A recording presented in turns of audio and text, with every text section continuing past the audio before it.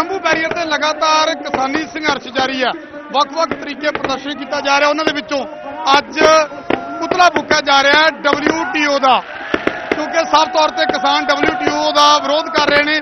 ਪਰ ਕਿਸਾਨ ਕਹਿ ਰਹੇ ਨੇ ਕਿ WTO ਦੇ ਨਾਲ ਭਾਰਤ ਦੀ ਕਿਸਾਨੀ ਨੂੰ ਵੱਡਾ ਨੁਕਸਾਨ ਹੋ ਰਿਹਾ ਹੈ। ਔਰ ਇਸ ਦੇ ਚੱਲਦਿਆਂ WTO ਦਾ ਵਿਰੋਧ ਆ ਜਿਹੜਾ, ਉਹ ਕੀਤਾ ਜਾ ਰਿਹਾ। ਇਹ ਤਸਵੀਰਾਂ ਸ਼ੰਭੂ ਬੈਰੀਅਰ ਦੀਆਂ ਨੇ, ਜਿੱਥੇ WTO ਦਾ ਪੁਤਲਾ ਫੂਕਿਆ ਜਾ ਰਿਹਾ ਹੈ। ਔਰ ਸਾਫ਼ ਤੌਰ ਤੇ ਸੁਨੇਹਾ ਦੇਣ ਦੀ ਕੋਸ਼ਿਸ਼ ਕਿ ਕਿਸਾਨ WTO ਦੇ ਵਿਰੋਧ ਦੇ ਵਿੱਚ ਨੇ। ਵੱਖ-ਵੱਖ ਤਰੀਕੇ ਪ੍ਰਦਰਸ਼ਨ ਹਰ ਰੋਜ਼ ਕਿਸਾਨ ਇੱਥੇ ਕਰ ਰਹੇ ਨੇ।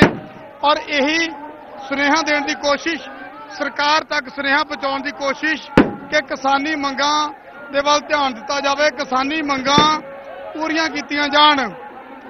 ਹਾਲਾਂਕਿ ਸਰਕਾਰ ਦੇ ਨਾਲ ਪਹਿਲਾਂ ਹੋਈਆਂ ਮੀਟਿੰਗਾਂ ਤੋਂ ਬਾਅਦ ਹੁਣ ਮੀਟਿੰਗ ਹੈ ਜਿਹੜੀ, ਉਹ ਟੁੱਟੀ ਹੋਈ ਹੈ। ਮੀਟਿੰਗ ਦਾ ਦੌਰ ਰੁਕਿਆ ਹੋਇਆ ਹੈ ਔਰ ਸਰਕਾਰ ਤੱਕ ਸੁਨੇਹਾ ਪਹੁੰਚਾਉਣ ਦੀ ਲਗਾਤਾਰ ਕੋਸ਼ਿਸ਼ ਪਹਿਲਾਂ ਕੱਲ ਕਨਵੈਨਸ਼ਨ ਕੀਤੀ ਗਈ। ਇਸੇ ਮਸਲੇ ਨੂੰ ਲੈ ਕੇ ਤਾਂ ਕਿ WTO ਦੇ ਬਾਰੇ ਚਰਚਾ ਕੀਤੀ ਜਾ ਸਕੇ, ਬੁੱਧੀਜੀਵੀ ਇੱਥੇ ਪਹੁੰਚੇ, ਕਿਸਾਨਾਂ ਨੂੰ ਦੱਸਣ ਦੀ, ਸਮਝਾਉਣ ਦੀ ਕੋਸ਼ਿਸ਼ ਹੋਈ। ਔਰ ਅੱਜ ਉਸੇ ਤਹਿਤ WTO ਦਾ ਵਿਰੋਧ ਕਰਦਿਆਂ ਇਹ ਪੁਤਲਾ ਫੂਕਿਆ ਗਿਆ।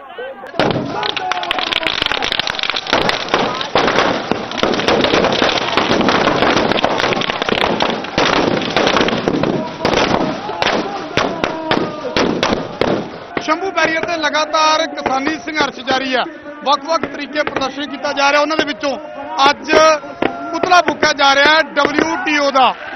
ਕਿਉਂਕਿ ਸਾਫ਼ ਤੌਰ ਤੇ ਕਿਸਾਨ WTO ਦਾ ਵਿਰੋਧ ਕਰ ਰਹੇ ਨੇ। ਪਰ ਕਿਸਾਨ ਕਹਿ ਰਹੇ ਨੇ ਕਿ WTO ਦੇ ਨਾਲ ਭਾਰਤ ਦੀ ਕਿਸਾਨੀ ਨੂੰ ਵੱਡਾ ਨੁਕਸਾਨ ਹੋ ਰਿਹਾ ਹੈ ਔਰ ਇਸ ਦੇ ਚੱਲਦਿਆਂ WTO ਦਾ ਵਿਰੋਧ ਆ ਜਿਹੜਾ ਉਹ ਕੀਤਾ ਜਾ ਰਿਹਾ। ਇਹ ਤਸਵੀਰਾਂ ਸ਼ੰਭੂ ਬੈਰੀਅਰ ਦੀਆਂ ਨੇ ਜਿੱਥੇ WTO ਦਾ ਪੁਤਲਾ ਫੂਕਿਆ ਜਾ ਰਿਹਾ ਔਰ ਸਾਫ਼ ਤੌਰ ਤੇ ਸੁਨੇਹਾ ਦੇਣ ਦੀ ਕੋਸ਼ਿਸ਼ ਕਿ ਕਿਸਾਨ WTO ਦੇ ਵਿਰੋਧ ਦੇ ਵਿੱਚ ਨੇ।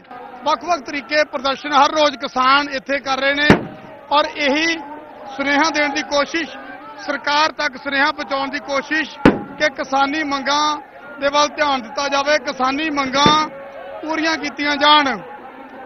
ਹਾਲਾਂਕਿ ਸਰਕਾਰ ਦੇ ਨਾਲ ਪਹਿਲਾਂ ਹੋਈਆਂ ਮੀਟਿੰਗਾਂ ਤੋਂ ਬਾਅਦ ਹੁਣ ਮੀਟਿੰਗ ਹੈ ਜਿਹੜੀ, ਉਹ ਟੁੱਟੀ ਹੋਈ ਹੈ।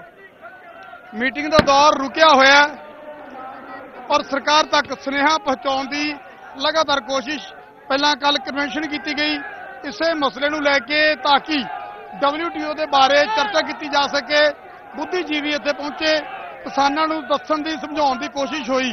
ਔਰ ਅੱਜ ਉਸੇ ਤਹਿਤ WTO ਦਾ ਵਿਰੋਧ ਕਰਦਿਆਂ ਇਹ ਪੁਤਲਾ ਫੂਕਿਆ ਗਿਆ।